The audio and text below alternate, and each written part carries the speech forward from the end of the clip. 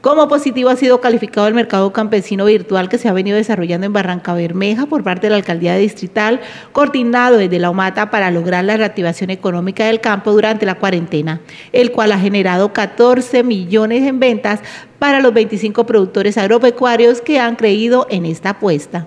Queremos darles los agradecimientos a la comunidad de Barranca Bermeja por permitirnos llegar a cada uno de sus hogares con estos productos de la economía campesina.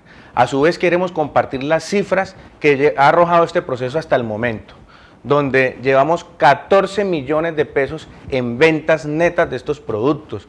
Además hemos eh, tratado de llevar a cabo este proceso con la mayor rectitud, sin intermediarios, donde hemos producido o hemos vendido, hemos dado a la comunidad Barranca Bermeja cerca de 2.500 kilogramos de alimento. Esto quiere, esto quiere decir que llevamos 2.5 toneladas de alimento distribuidas en 300 familias. El mercado campesino virtual no solo ha dinamizado la economía de los campesinos, sino que ha involucrado otros sectores como los servicios de domicilios, venta de bolsas para empaques y el suministro de combustibles para los vehículos que transportan los productos.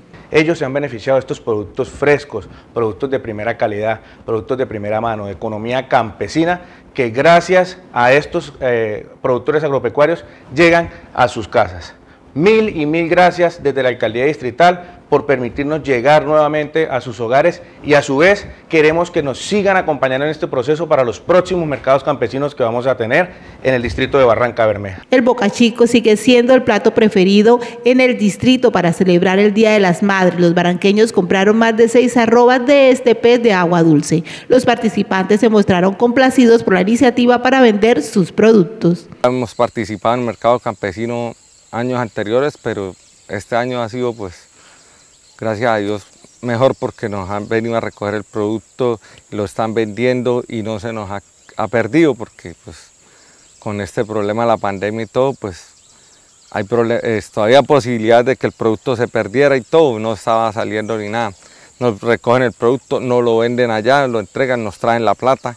Eso es un, eso es muy favorable para acá, para el campesino. El mercado campesino virtual ha movido 2.5 toneladas de alimentos en Barranca Bermeja.